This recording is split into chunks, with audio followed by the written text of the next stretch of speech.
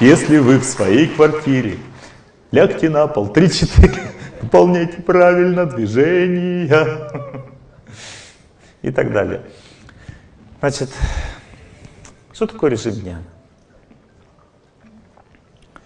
Луч солнца золотого Тьмы скрыла пелена, И между нами снова Вдруг выросла стена. О, о, о, Ночь пройдет, наступит утро ясное, Знаю, счастье нас с тобой ждет. Ночь пройдет, пройдет, пора ненастное, Солнце зайдет, солнце взойдет. Видите, в этой песне есть две эмоции. Ну, это даже не любительский стиль, это на уровне, на уровне домашней тусовки. Вот. Есть две категории людей, которые слушают мои песни. Одним нравится, что я пою неправильно, они смеются. А другим нравится, что я пытаюсь что-то из этого выдавить. В общем, всем нравится. Потому что это раз, разряжает атмосферу. Итак, смотрите, две эмоции. То есть э, тьмы скрыла пелена, и между нами снова вдруг выросла стена. Да? Что это означает? Это значит, что наступила грусть, наступило какое-то вот, что-то не хватает мне в жизни, и ночь пройдет, наступит утро ясное, знаю счастье, нас с тобой ждет. То есть, смотрите, другой вариант. Восход означает счастье. Это все знают, но не знают, как это применять. Знаете, что в этом, в этом сочетании двух этих вот вещей заложено правильное отношение к жизни. Это и есть закон, который или разрушает нас, или нас создает.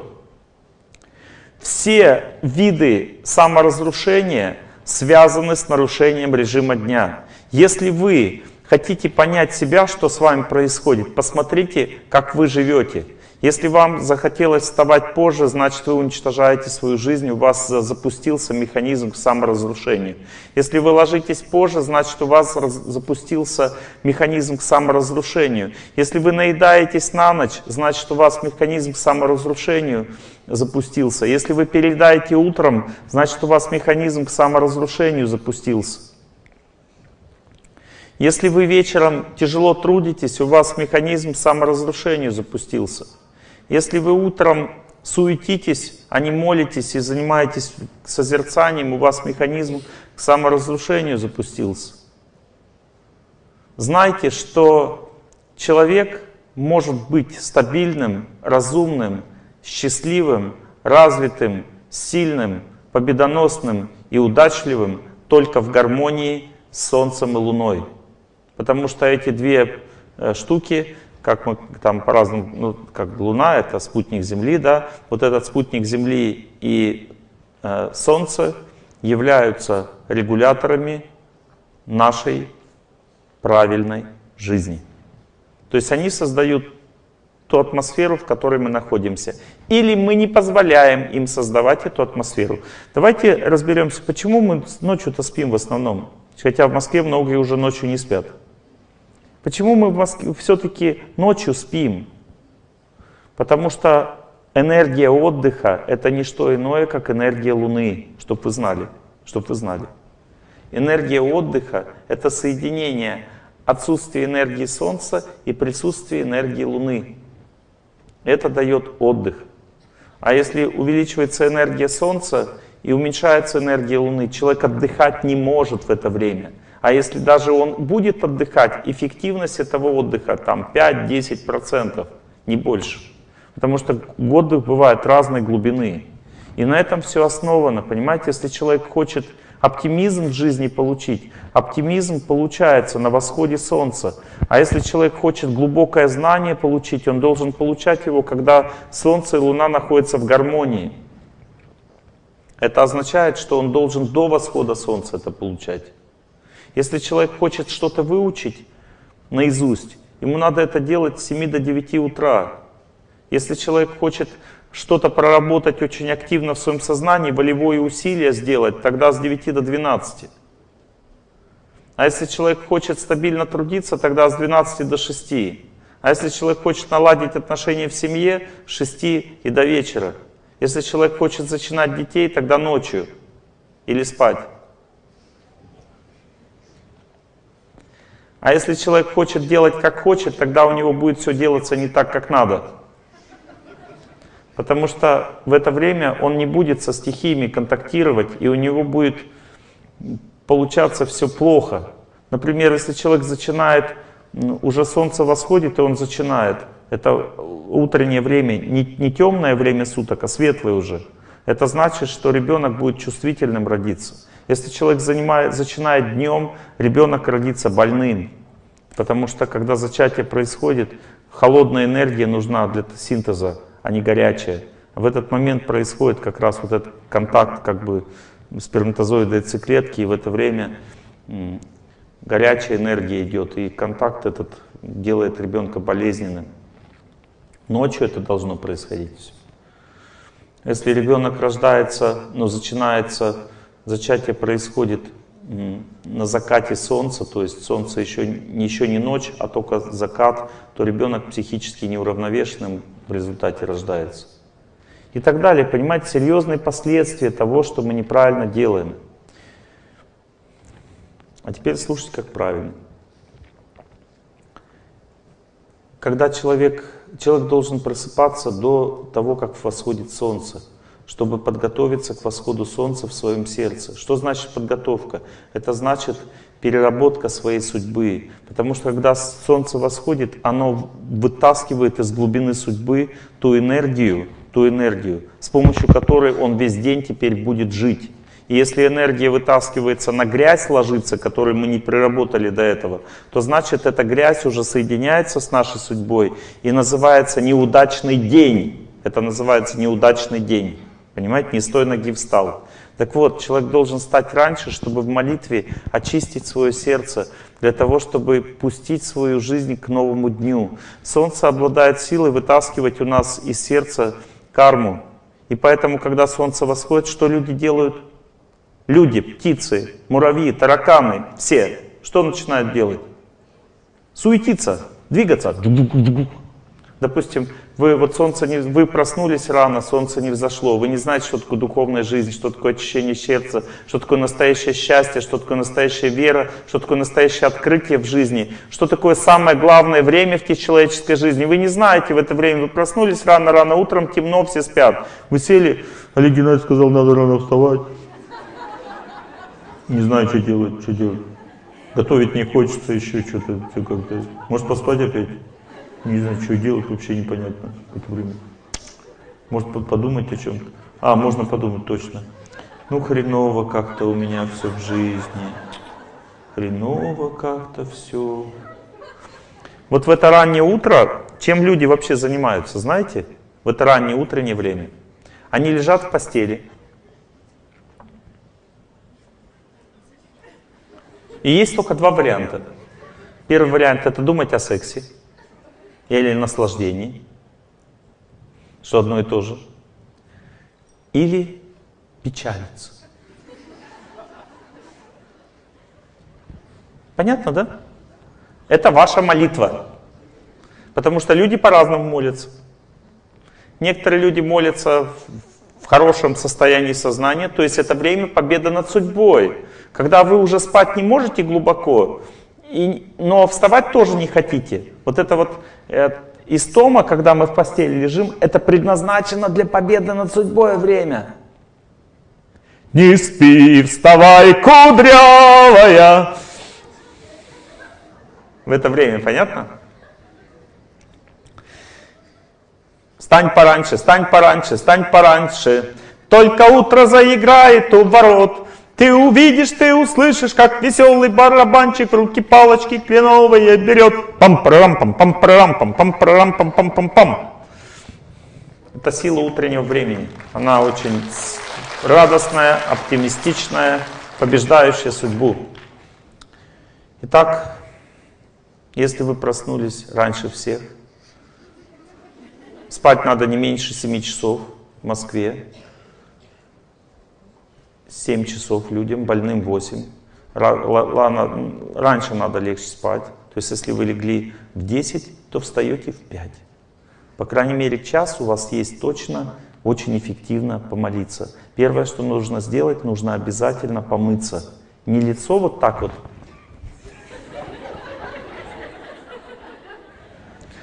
А надо вставать под душ, мои хорошие.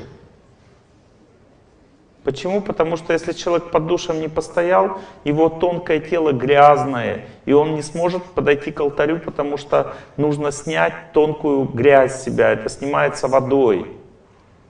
Под душем тоже можно что-нибудь молитвы какие-нибудь попеть, и вы таким образом тоже очищаете свой разум с помощью молитвы, когда вы под водой стоите.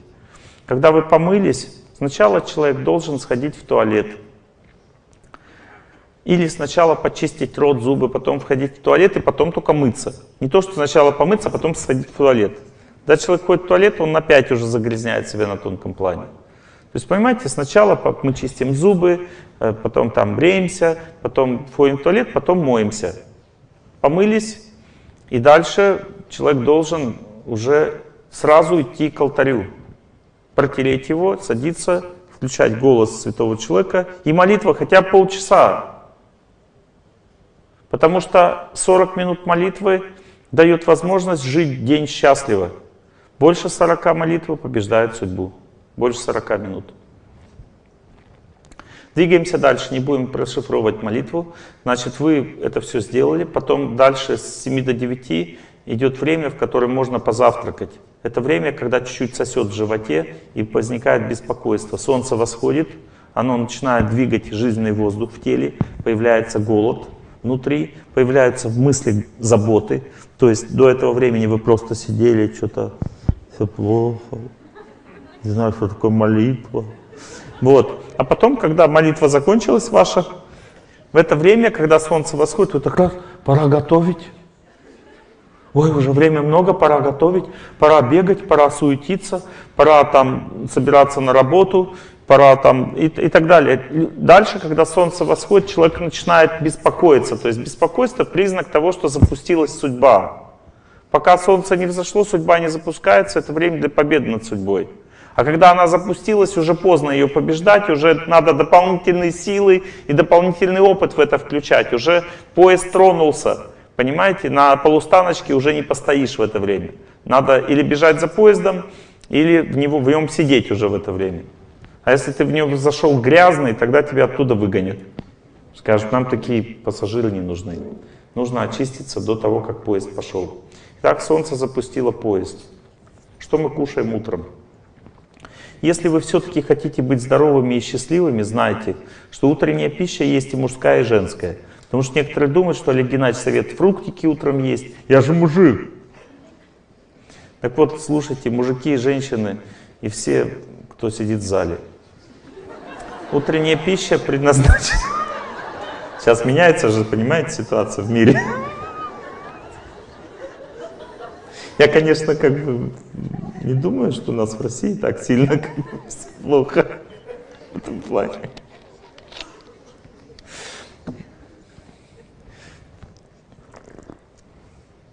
Я буду шутить, иначе вам невозможно будет это все слушать. Итак,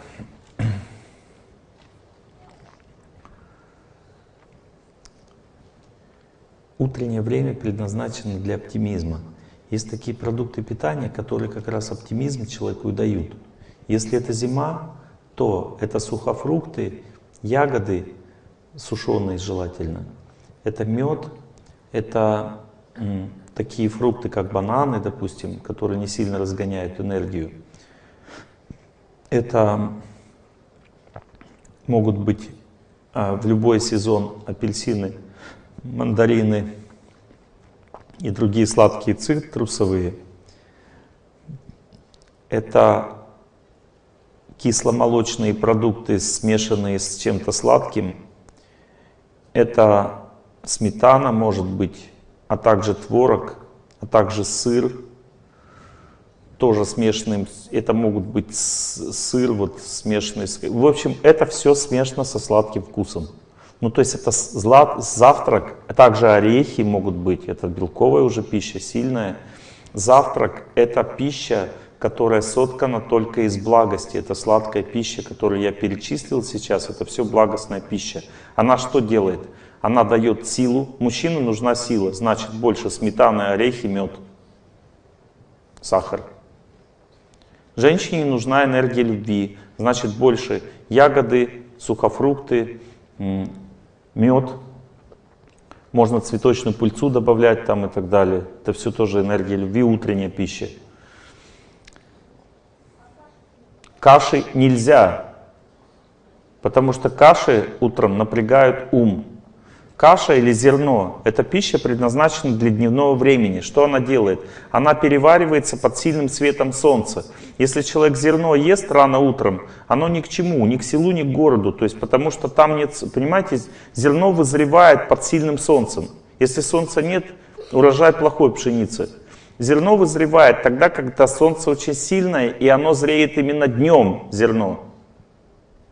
Понимаете, да? Гречку можно. А овсянка уже зерно, а гречка не зерно. Топленое масло супер. Итак, в утреннее время мы кушаем пищу, поднимающую энергию вверх. Гречка не поднимает энергию вверх, но ничего плохого в принципе не сделает. Энергию вверх поднимает мед, сухофрукты, орехи, э, топленое масло сливочное.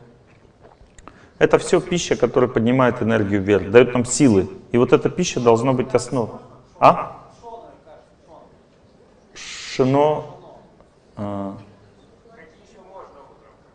можно. Это не, не, не колосья, оно же не в колосьях растет. Аллергия на все сладкое не может быть аллергией на все сладкое, такого не бывает. Вы просто выберете, есть три вида сахара. Человеку подходит только один, кстати, из трех видов сахара, поэтому и сахар считается ядом у врачей, потому что они разбираются в этом вопросе. Каждому человеку из трех только один видов сахара подходит. Первый вид сахара это свекольный, второй тростниковый и третий пальмовый. Можно найти сейчас в супермаркетах все эти три вида сахара. А, тростниковый коричневый, пальмовый, он такими кусками продается. Но редко кому из нас подходит вообще. В основном всем подходит свекольный или тростниковый.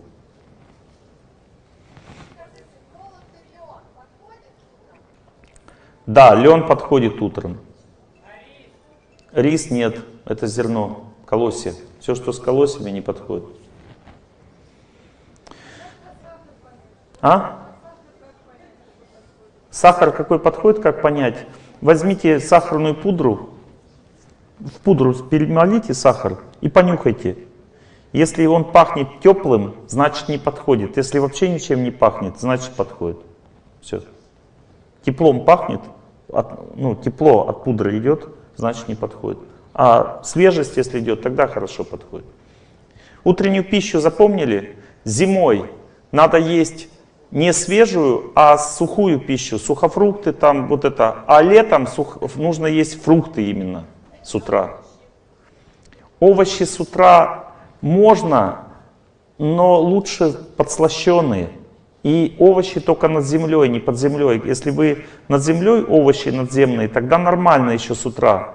Но они должны быть сладко приготовлены, сладкий вкус. Лучше фрукты есть, а не овощи. Овощи это уже исключение, любые. А яйца это вот та пища, которую я не считаю здоровой. Поэтому не рассматриваю. Яйца, мясо. Это вы уже сами втихаря, когда Олег Геннадьевич уже спит. Раз, видите, что Олег Геннадьевич заснул, можно поесть мясо, спать лечь. Но здоровья от этого уже не будет. Вот. Ладно, это шутка. Итак, двигаемся вперед. Нет, не надо вопросов, все, потому что мы, ну, на что умеют помазать?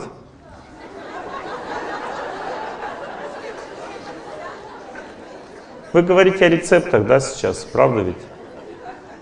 Ну, то есть вы говорите о рецептах. Мед можно смешивать а, с творогом, можно смешивать с а, утром, именно утром. Мед можно смешивать с фруктами. Берете, допустим, фрукты, да, берете их режете, э, добавляете туда меда, кушаете. Можно, вот знаете, я вам сейчас рецепт сделаю, у вас все вопросы пропадут.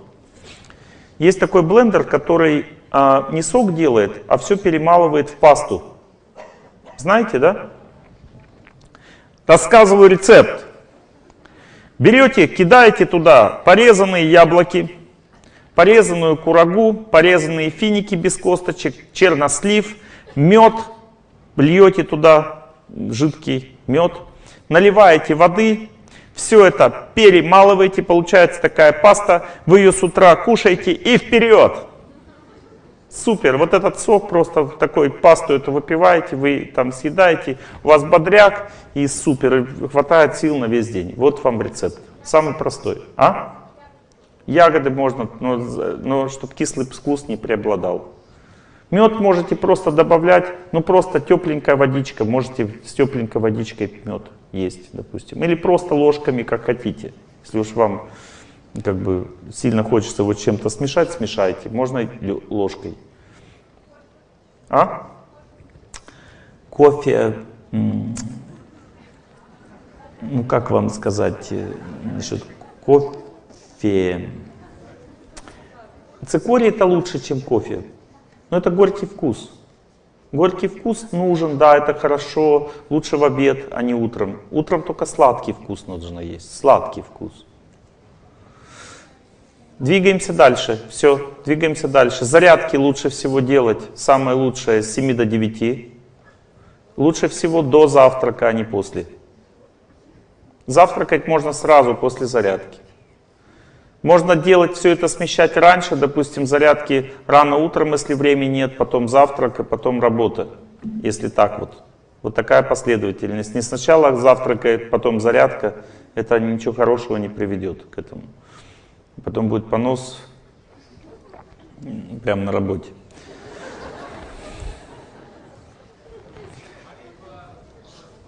Раньше всего, раньше всего. Сначала молитва, потом все остальное. Не, не обязательно связывать, никак не связывать это с восходом солнца. Связывайте с 6 утра. Все, не надо с восходом солнца связывать, никак. Все, двигаемся дальше. Значит, обед. Для русского человека среднего пищеварения лучше всего начинать с салата. Потом идет горячая пища и суп, и потом чуть-чуть сладкого в конце. Можно чуть-чуть тортика даже съесть в обед, ничего страшного. В конце, после питания, э, не слишком много. Вот. Вечером, вечернее питание такое.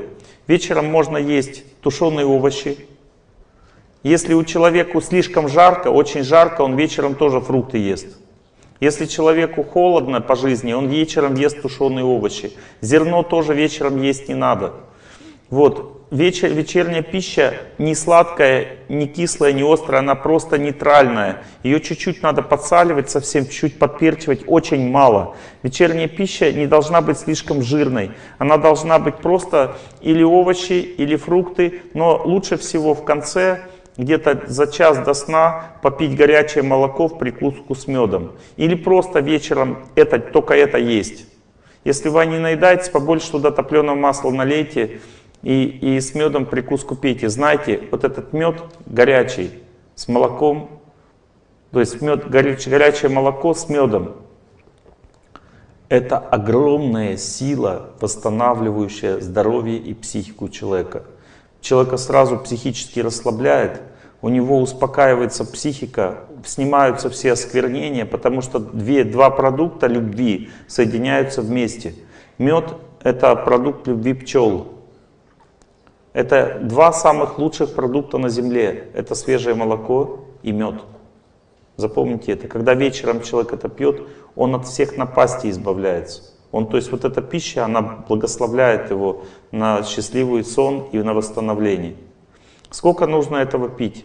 А, у всех разное пищеварение. У кого-то нет переносимости к молоку, тогда просто водичка с медом. горяченькое, да? Мед просто без молока. Кто-то не переносит молоко. Если вы переносите, тогда смотрите, если у вас налет на языке, не надо, значит, надо уменьшать дозу. А если вы хорошо спите, у вас все нормально, налета с утра нет, значит вот эта доза молока с горячего с медом вам подходит. Молоко не вредно для человека. Молоко вредно пить, когда солнце высоко. Оно плохо переваривается. Потому что молоко это продукт, который и создается коровой или рано утром, или поздно вечером. Поэтому и доят утром и вечером, потому что днем молоко плохо вырабатывается. Оно вырабатывается на заходе солнца и на восходе солнца. Понятно, да? И поэтому оно и переваривается в это время. Овощи тоже под светом луны вызревают. Овощи растут ночью, и поэтому они вечером хорошо перевариваются, в обед хорошо перевариваются, а не с утра. А фрукты на восходящем солнце созревают, и поэтому их кушают с утра, чтобы они переваривались до того, как солнце в зенит вошло. Точно так же перевариваются, точно так же мед, он как бы, это солнечный продукт. Понятно, да? Если человек вечером ест зерно, ест мясо, если вечером наедается сильно человек, что он получает в жизни? Первое – хронические заболевания. Два – злокачественные опухоли. Три – нарушается красота гормональной функции. Четыре – нарушается сон и восстановление организма. Пять – человек получает а, склонность к безволию, депрессии и, в общем, сокращает свою продолжительность жизни. Поэтому вечером человек должен всячески стараться себя оградить от переедания. Это очень важно.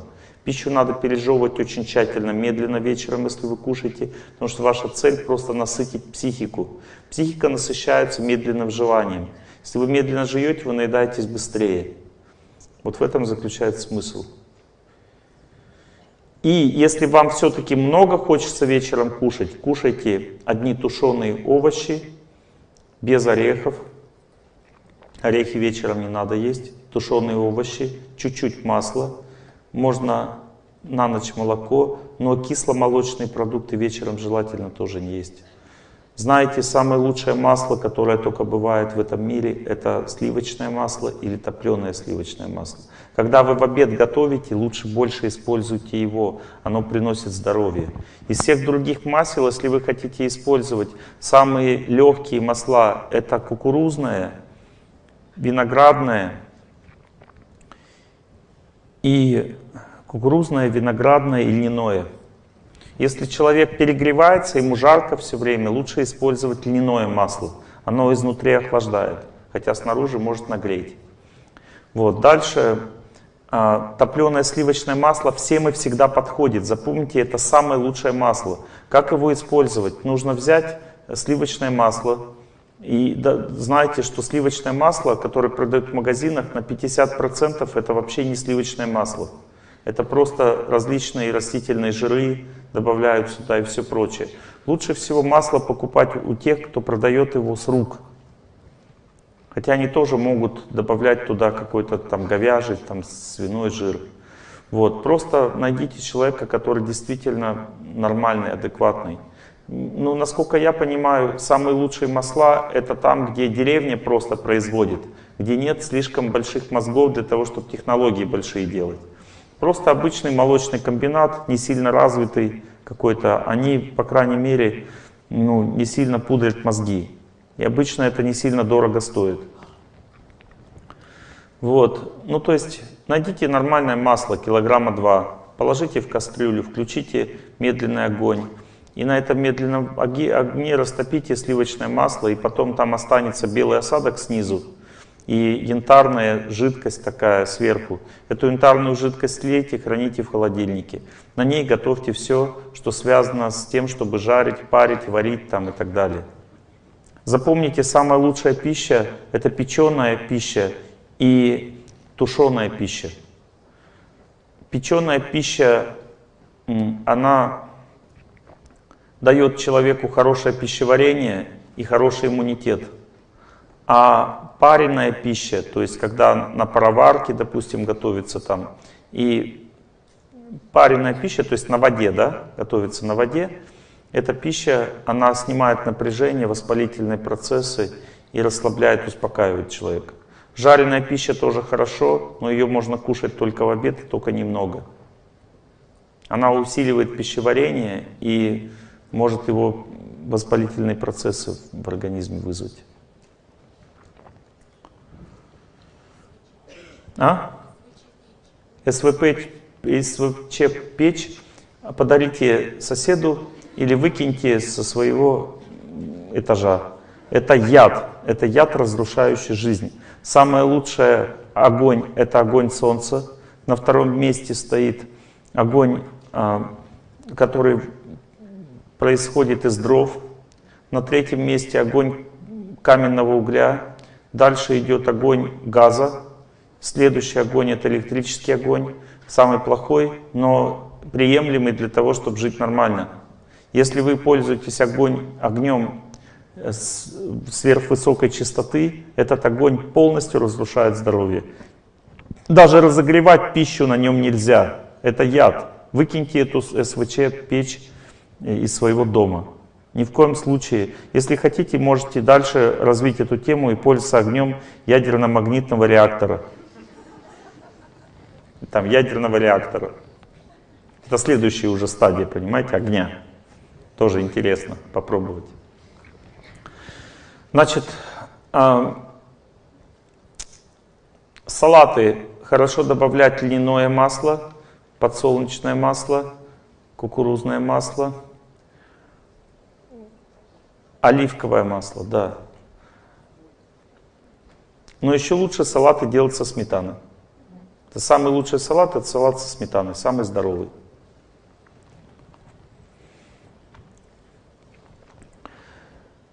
Ну, это так немножко про питание. Больше всего кушать надо в обед. Можно наедаться хорошо в обед. В обед солнце само переваривает пищу. До солнца высоко, оно само все переваривает, и вы будете здоровыми. Если вы ели, съели много в обед, вы никогда не будете толстеть. Знаете, когда люди толстеют? Человек толстеет только с 6 вечера до до 6 утра. Когда человек после 6 вечера поел плотно, в это время он толстеет. Человек худеет с 6 утра до 12 дня. Поэтому, если вы хотите похудеть, кушайте только в обед. Утром не ешьте, вечером не ешьте. Вы будете худеть очень хорошо. Хотя в обед вы можете наедаться по полной программе. Потому что утром все будет рассасываться, утром человек худеет с утра, как еще худеть? Можно, допустим, пить с утра свекольный сок. Свекла, она увеличивает выход жира из организма. Свеколь, именно свекольный сок можно пить с утра, и тогда вы будете худеть. Немного. Можно подслащивать его, он тяжело пьется. Можно каждый день, да. Сельдерей в обед это корень. Мужчинам лучше есть корнеплоды, которые растут под землей. Это увеличивает мужскую силу. А женщинам лучше есть овощи, которые растут над землей. Это улучшает женские гормоны. Корни сильнее всего действуют, когда они сырые. Поэтому если человек сырые корни ест в салат, добавляет мужчина, сельдерей, у него возможность бесплодия мужское есть вылечить очень реально. Самый лучший способ лечить мужское бесплодие – это много двигаться, это чаще всего мужчина перегревается, у него перегрев э, половых органов идет, поэтому закаливание раз, движение спорт два и корнеплоды свежие три. Это три залога для лечения мужского бесплодия. Для лечения женского бесплодия земля и вода раз, овощи над землей два и а, посты 4, 3. То есть очищение организма с помощью поста. Чтобы поправиться, нужно овощи, тушеные овощи есть по вечерам. Тогда вы поправитесь. Теперь у меня к вам вопрос. Скажите, пожалуйста, вам нужны такие лекции или нет? Или мне их не читать дальше? Кто считает, что очень скучно и тяжело? Поднимите руку. Никто не считает. Но эта лекция тяжелая. Это не как обычно я читаю. Вы хотите следующую такую или нет? Это просто был эксперимент. Вам, вы получили что-то сегодня? Мы двигаемся дальше? Имейте в виду, что если ползала будет в следующий раз, я потом буду вас опять развлекать семейной жизнью. Мы с вами так договорились. У нас осталось 30 минут. Я вам расскажу сейчас что-то другое. Мы, мы с вами немножечко продвинулись вперед по здоровой жизни. Эта тема необъятная. Я буду потихонечку дальше идти. Надеюсь, что мы с вами ее потихоньку разберем. Вот. Сейчас я хочу вам кое-что сказать другое, немножко из другой области. Давайте поговорим с вами о злокачественных опухолях. Нормально?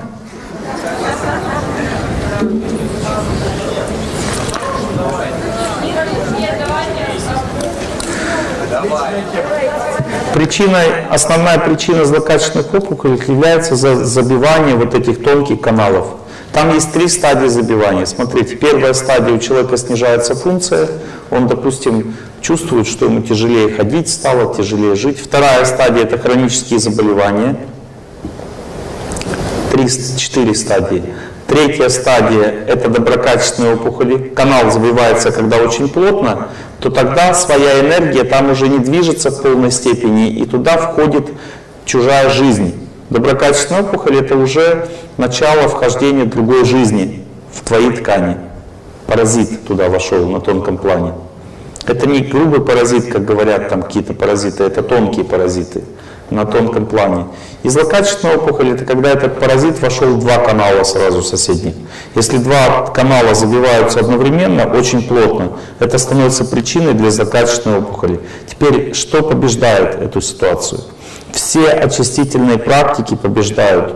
Но если человек не, кого-то не простил, если человек кого-то проклинает, если кого-то не простил, если человек находится в депрессии, если он кого-то ненавидит, если человек а, не хочет жить, то тогда даже очистительные практики не работают. Потому что вот эти вот типы мышления, которые я вам сказал, и еще мясо, потребление мяса, эти типы мышления плюс потребление мяса не дают возможности прочищать каналы слишком качественно. Понимаете, очищение идет, но вот эти вот жесткие энергии, которые как бы создают вот такой блок, и его невозможно вытащить из организма, это невозможно сделать без молитвы раз и без практики покаяния два. Поэтому самая большая ценность у человека в жизни это практика покаяния, очищения сердца от обид, злобы и ненависти, понимаете? Не имеет значения к кому. Допустим, если вы какую-то страну ненавидите, это точно такая же ненависть, как к человеку. Потому что все виды ненависти возникают как влияние времени. я уже говорил вам, что есть четыре стадии влияния времени на человека, как бы оно ни влияло. Первая стадия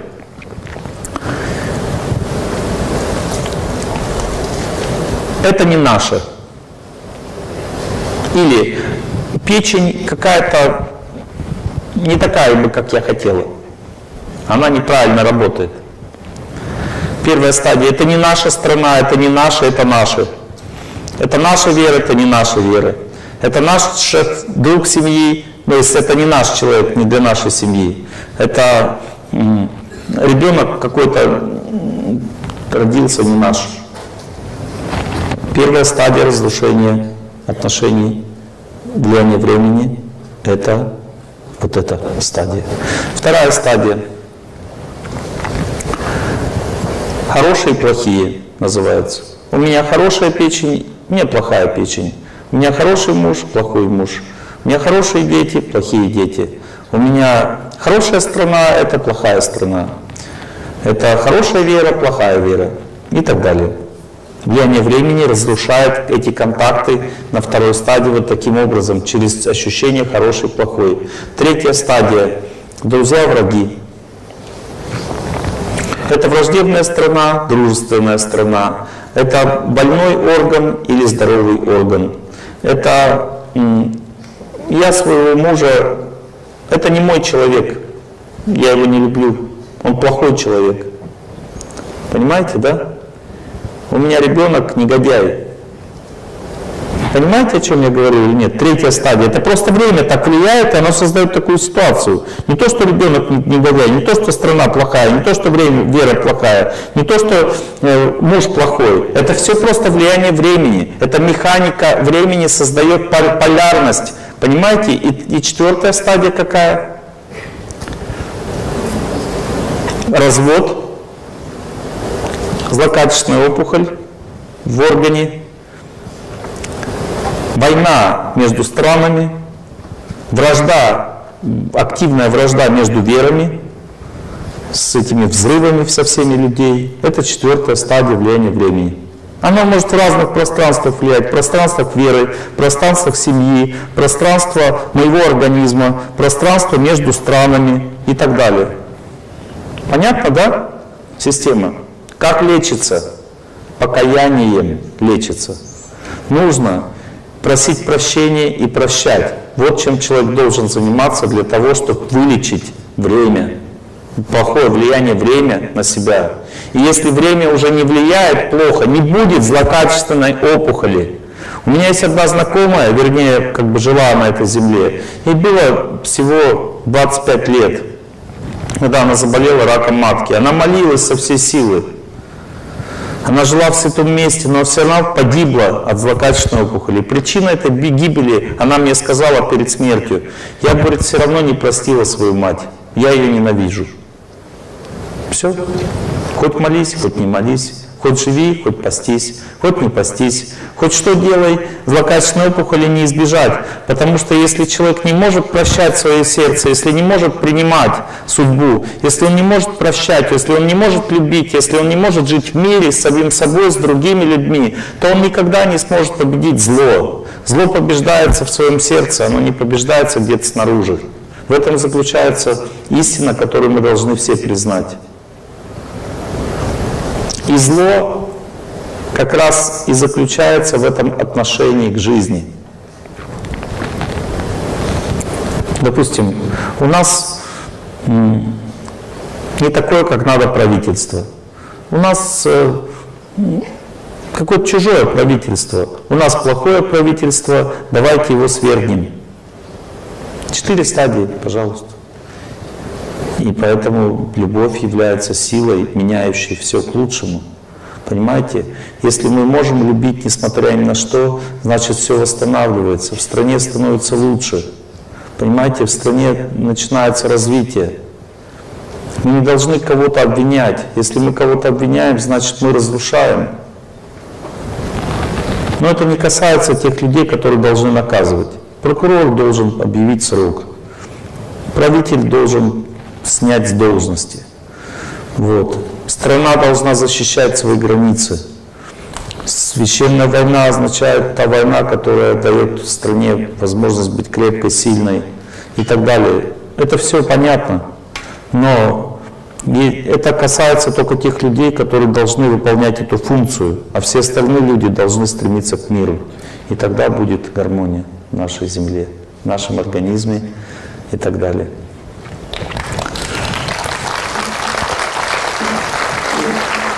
Я бы хотел услышать ваши вопросы. Совсем немного, несколько минут. Да, вот дев, девочка, вот вы, да, девушка. Сыроедение нужно. Если человеку очень жарко жить, у него сильное воспаление, у него сильная слабость, он ничего кушать не может, он никак не может вылечиться, ему плохо, жарко, постоянно душно, он начинает питаться сырой пищей и выздоравливает. Нет, только при сильном жаре в теле. Давайте дальше ваш вопрос. Только не выкрикивайте из зала. Вот мужчина, там вы. Покаяние как осуществляется? Вот смотрите, человек сам не может покаяться, потому что покаяние – это всего лишь принятие. Принятие происходит при достаточной энергии, силы внутри тебя. Какой энергии? Энергии Бога. Человек не может сам переварить свою судьбу. Мы можем это сделать только с помощью чистой силы святости. Поэтому человек должен сосредоточиться на святости, служить ей, думать о ней, настраиваться на нее и просто вспоминать свой позор. Ну, то есть то, что ты сделал плохого, вспоминать это, помнить об этом. И есть в этом вспоминании следующие стадии. Первая стадия. Я могу об этом думать. До этого не мог. Например, приведу пример. Люди, допустим, девушка бросила мужа, она постоит и говорит, мы расстались. Никогда человек не скажет, мы расстались, если его бросили. Он может сказать, мне разрушили семью, или меня бросили. Но если человек говорит, мы расстались, что это значит? Он не дошел до первой стадии покаяния. Это значит, он не может это вспоминать, об этом помнить. Он не может. Когда человек об этом помнит, он легко скажет, я бросила или бросил. Понимаете? Легко означает, у него на это есть силы. Первая стадия покаяния – принятия. Вторая стадия покаяния – человек думает о святости, молится, но при этом он не погружается вот в эту вот трясину своего сердца. Он молится, служит Богу, думает о Боге. В это время приходит память о поступке. И когда уже принятие есть, ты можешь хорошо, спокойно думать об этом. В этот момент приходит знание, что это плохо. До этого момента ты не знал об этом. Ты принял это, но ты не был уверен, что до конца, что это неправильно. На второй стадии четко ты знаешь, что это неправильно. У тебя нет сомнений. Третья стадия – понимание последствий. Человек продолжает молиться, вспоминает события, тут бац, неожиданно он понял, что вот это, то, что он сделал, привлечет его вот таким результатам в жизни, несомненно. И в этот момент, когда человек понимает последствия, он хочет вырвать из своего сердца этот грех. И дальше наступает интересная вещь. Он молится Богу, думает о Боге, и у него в сердце возникает чувство неприятия этого греха или восстания против него. И вот эта вот четвертая стадия восстания против греха, он не хочет никогда в жизни больше этого совершать, является завершающим этапом покаяния. Человек утверждается в себе, что он так делать никогда не будет. И значит, что он от этого очистился. Все. Такие четыре этапа. Видите, вопросы о молитве всегда лучше, чем о своем теле, правда ведь? Они такие скучные. О теле тоже иногда надо говорить. Это тяжелые, скучные лекции. Мне разок по режиму дня, по, по питанию попросили в Питере почитать. Потом на середине лекции зал заснул. Пришлось говорить о жизни, о молитве, потому что это более глубокая тема. Ну, здоровье тоже надо обсуждать иногда. Это важно на первом ряду. Почему ошибка, если во время молитвы укачивает сонливость? Если во время молитвы укачивает сонливость, недостаточный вход. Понимаете, душа — это как проводник, это как лампочка, которая имеет вход и выход. Когда ты недостаточно вдохновлена, голосом или памятью о своем наставнике. Понимаете, есть два способа. Или сильно помнить наставника во время молитвы, или святость или слушать. Слушать легче, чем помнить, потому что помнить только может тот человек, у кого сильный разум и включен. А если у человека не включен разум, он не может побеждать судьбу, ему надо слушать и вместе с ним молиться, так же, как он. Тогда вход восстанавливается, человек не спит. Допустим, он повторяет, он спит, значит плохо слышит. Надо слушать означает повторять так же, как он. Потому что разум слушает повторением. Слушается, разум слушается, он слушает повторением. Допустим, ребенок, папа говорит, вот так, сделай так, ребенок, сделай так. Что он делает? Включает разум. Ребенок, когда повторяет за вами, он включает разум. Человек, чтобы включить разум, должен делать так же, повторять такой же интонацией, точно так же, как тот, кто молится. В этот момент включается вход, и человек бодреет. Ему легче молиться становится, потому что он, энергия вошла. Теперь есть другая проблема. Энергия вошла, все классно, ты бодрый, но у тебя ничего не происходит внутри.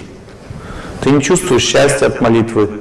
Ты повторяешь там, молишься, но счастья никакого нет, изменений никаких нет, прогресса никакого нет. Нарушен выход. Выход из души Два вида выхода может быть. Первый вид выхода, выхода – я хочу всем помочь. Я желаю всем счастья, хочу всем помочь. Самый простой вид выхода – я хочу всем помочь. Этот вид выхода естественный для человека. И он дает возможность человеку опыт духовный получать в результате. И второй вид выхода – это поклонение алтарю или святости, или твоему ну, объекту поклонения – когда человек поклоняется объекту поклонения, это более высокий способ выхода энергии души и более могущественный. Он реально побеждает судьбу, но он трудно достижимый. Поэтому выберите, что вам проще. Наставник приходит в жизнь, когда Бог этого хочет. Каждую секунду своей жизни человек имеет наставника. Когда на вас муж кричит и говорит, ты дура такая, ничего не соображаешь, это Бог вам говорит через него. Муж может кричать только в состоянии злобы или гнева, потому что мы близких людей не будем слушать в обычном состоянии. Но мы их и в необычном не слушаем, потому что мы наставления не хотим ни от кого принимать. Наставление всегда имеет только горький вкус. Следующий уровень наставничества — это когда человек слушает своего друга честного, он ему говорит правду. Это тоже наставление. Вот, допустим, когда молодой человек вот здесь на этом ряду, он начал говорить о моих недостатках, это ведь все было правда. Это и есть правда, то есть я действительно грубоватый человек, там не всегда говорю правильно все людям. Но это правда для меня, а не для вас. Потому что если вы слушаете эту правду от него, вы оскверняетесь в отношениях со мной. Вы не можете от меня уже истину получать. Потому что эта правда разрушает ваши отношения со мной. Это правда как яд, который он, такой человек, вливает в ваши уши. Но если он наедине мне говорит эту правду, я кланяюсь такому человеку. Потому что это для меня очень большая польза. Понимаете? Итак, правда — это то, что является следующим этапом наставления. Когда нам говорят какую-то правду про наши недостатки, это очень хорошо. Это нас развивает, дает нам возможность двигаться вперед. Следующий вид наставлений — тот, который вы получаете. Когда человек еще не хочет, не готов следовать какой-то вере, он должен получать наставления от нейтрального человека, который их дает в виде лекционного материала. Этот вид наставлений тоже то, что Бог хочет. Это дается определенному уровню людей, которые еще не готовы близкие наставления от старшего получать, но наставления все равно нужны. Следующий вид наставления – это наставление от наставника, это еще не духовник, это просто старший друг. Он тебя учит жизни, но уже строго, потому что наставления не строгими не бывают. Они добрые, но в этой доброте все равно есть строгость, потому что это правда, которую слушать трудно. Самый высокий вид наставления человек может получить, когда он очень сильно развит духовно. Это он получает себе духовного учителя, который говорит, ты должен жить так, и ты будешь жить так всю жизнь. Если ты этого не делаешь, значит тебе духовник не нужен. Теперь знайте, что наставник всегда и везде приходит в жизнь человека в тот момент, когда человек получает внутреннее развитие достаточное, чтобы это переваривать. Это так происходит наше отношение с Богом. И никакой здесь нет ни дефицита, ни дистанции. Только мы получаем внутреннюю возможность получить наставление. Немедленно мы получаем наставника. Нет никакой дистанции между нами и им. И не будет никогда. Потому что это просто зависит от нашего развития. И все. Точно так же, когда женщина достойна иметь мужа, она немедленно получает себе мужчину. Немедленно. У Бога нет никакого желания нас, нас держать в дефиците. Когда мужчина достоин завести семью, он немедленно получает себе жену. Когда женщина достойна иметь ребенка, она немедленно получает ребенка. И когда заканчивается время, то человек немедленно об этом получает информацию. Сесилия Брам.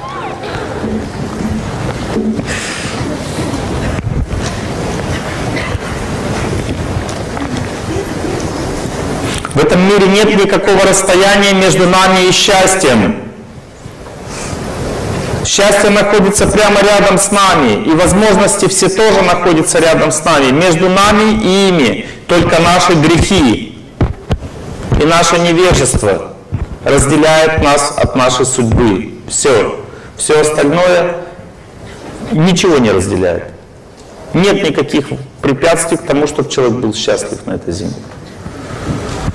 Кроме нашего невежества. А теперь мы будем его побеждать. Все сели прямо.